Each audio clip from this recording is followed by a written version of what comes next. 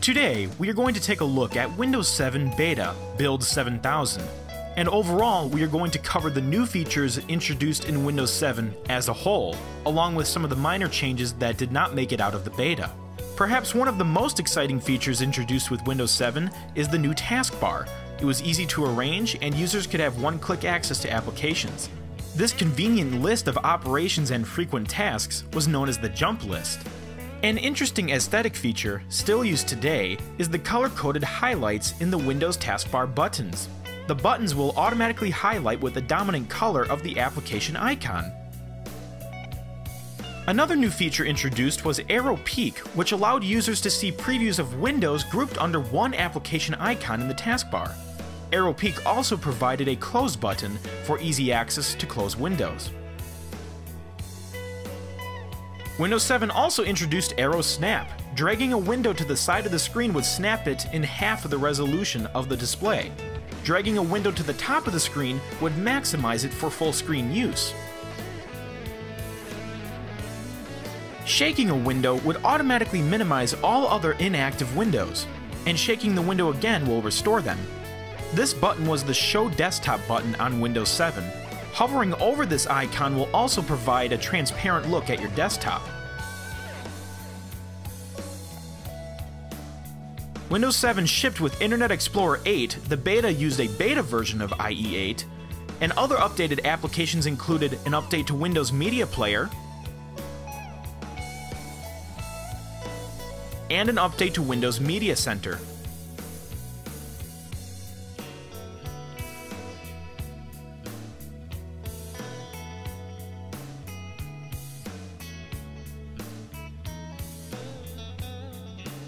The libraries introduced in Windows 7 offered easy access to certain file and folder types. Users could also add their own content to libraries, and they can create their own standalone libraries as well.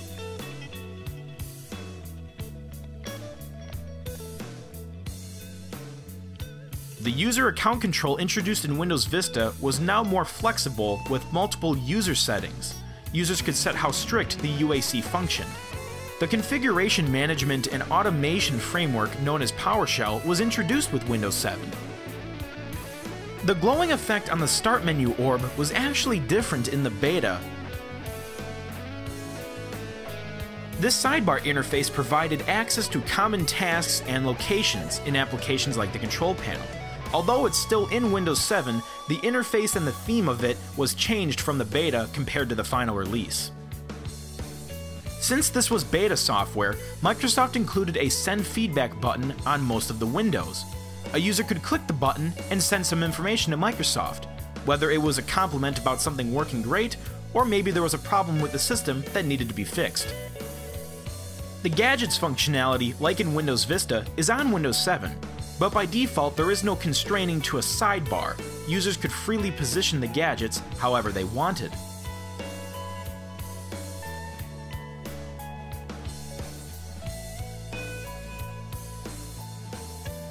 In the final release, Microsoft had many new sound schemes available. However, in the beta, only the Windows default sound effects were present. The Action Center, which replaced the Windows Security Center, provided users with information about security and maintenance in regards to their PC. For example, it would alert you if there was no security software, like antivirus software, installed on the computer. So there you have it, a quick tour of Windows 7 Build 7000.